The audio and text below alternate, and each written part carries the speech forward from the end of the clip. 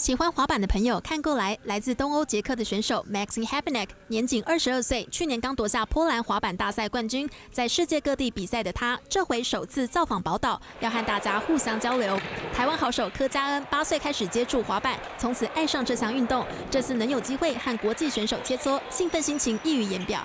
因为这一次他来台湾嘛，所以然后我们有到不同地方去做一些拍摄的动作，就是滑板的也有，然后包括一些可能台湾的文化，就可能我们还要到庙里拜拜，所以我觉得蛮特别的。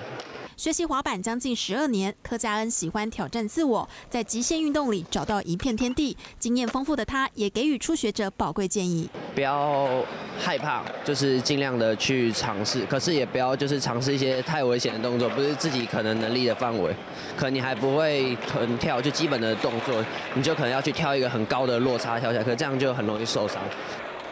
滑板有多好玩，要亲自体验才知道。初学者只要克服恐惧，就成功踏出第一步。现在国际好手也亲自登台推广，希望台湾有更多人注意这项运动，一同感受滑板的乐趣。未来体育新闻黄瑞红、许新元采访报道。